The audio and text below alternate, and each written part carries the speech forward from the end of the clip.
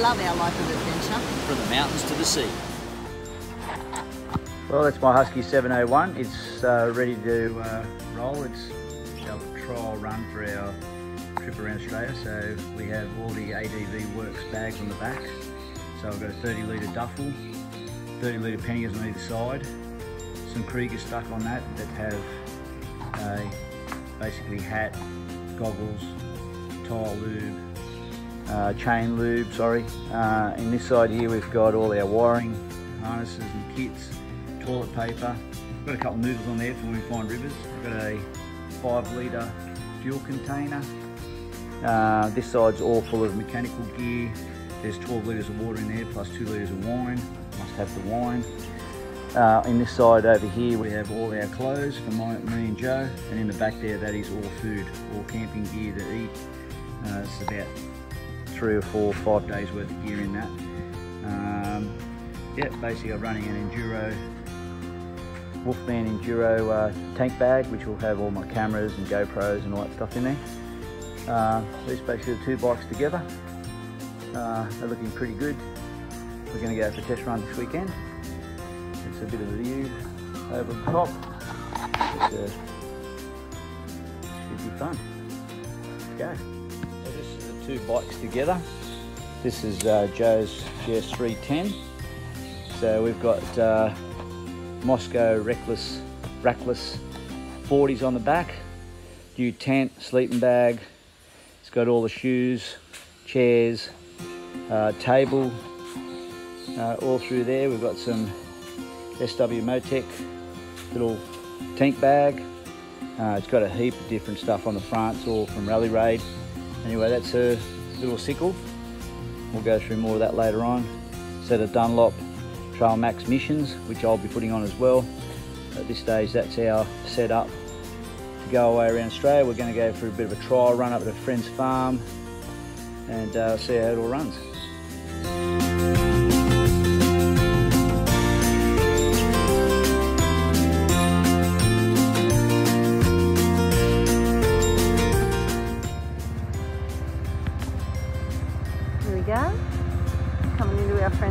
For a little camping weekend.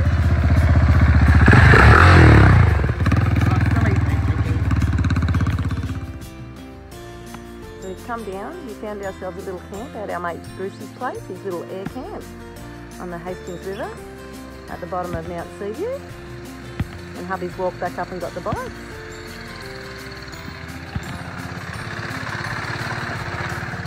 Bringing the little beamer in the camp for me be a lovely spot.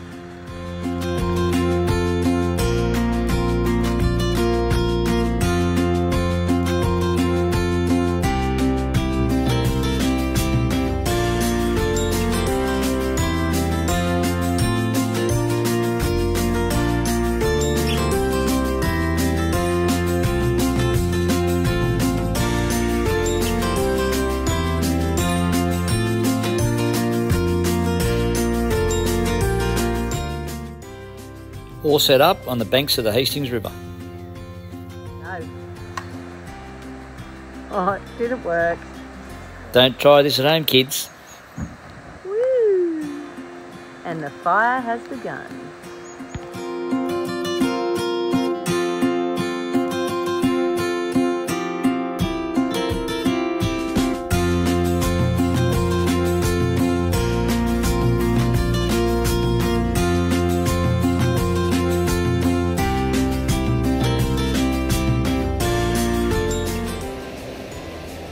Hi guys, welcome back.